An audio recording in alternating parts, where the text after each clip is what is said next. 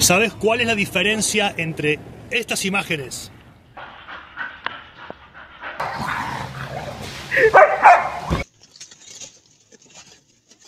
Y estas otras.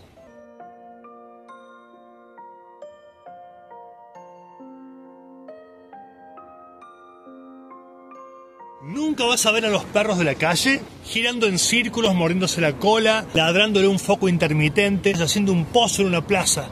¿Por qué es esto? En definitiva, esto es así, loco.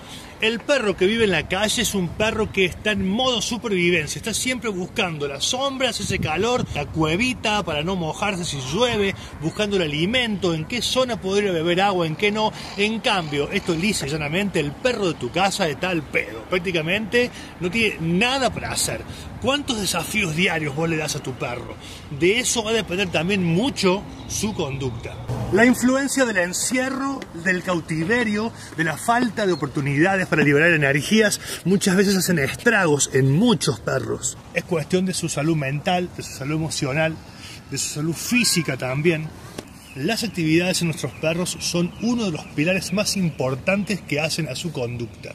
Y esto no lo hago por ustedes, esto lo hago por sus perros.